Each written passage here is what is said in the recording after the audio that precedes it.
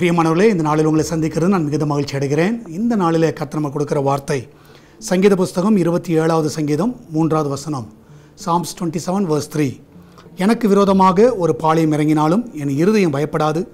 என்மேல் யுத்தம் எழும்பினாலும் அதில் நான் நம்பிக்கையாக இருப்பேன் நான் விசுவாசிக்கிறேன் உங்களுக்கு விரோதமாக என்ன எழும்பினாலும் நீங்கள் நம்பிக்கையாக இருங்க.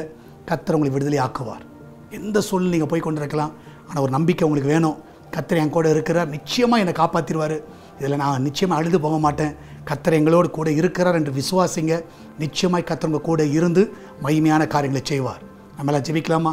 நன்றி ஆண்டவரே இந்த நாளுக்காய் சோத்திருக்கிறோம். இதனால் ஆண்டவர்கிட்ட ஒவ்வொரு பிள்ளைகள் ஆசிரியங்க வீட்டில் இருக்கிற பிள்ளைகள் வேலைக்கு செல்கிற பிள்ளைகள் படிக்கிற பிள்ளைகள் வெளிநாட்டில் தங்கி இருக்கிற பிள்ளைகள் எல்லாரையும் காத்துக்கொள்ளுங்கப்பா. யாருக்கு எந்த ஒரு தீங்கு வரக்கூடாது. அவளுக்கு விரோதமாக எந்த ஒரு இடத்துல இருந்து தாவே சத்துருக்கள் எழும்பக்கூடாது. அவங்க செய்கிற வியாபாரத்துக்கு விரோதமாக எழும்பக்கூடாது. வேலை சிலத்தில் எழும்பக்கூடாது.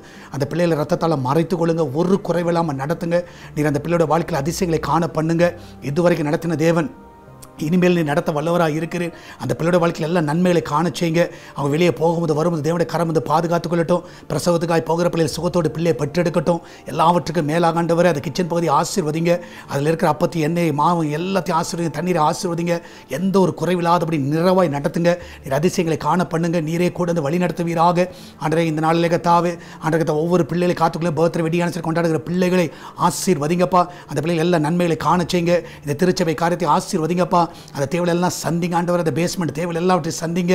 அந்த மீதி தேவை அந்த மூணு கோடியே தொண்ணூற்றி நான்கு லட்சம் ரூபாய் சந்திங்க ஆண்டவரை. இந்த நாளில் வழிகளை திறக்க வேணுமா செபிக்கிறேன். ஆண்டவரை ஜனங்கள் கொடுக்கத்தக்கதாக கிரியை செய்வீராக. ஆண்டவர் இந்த நாளில் மகிமையான காரியங்களை செய்யுங்க. எல்லாவற்றுக்கும் மேலே ஒரு மகிமையான ஒரு ஆலயத்தை நாங்கள் எழுப்புவதற்கு எங்கள் கரத்தை பலப்படுத்துங்க. ஆசீர்வதிங்கப்பா.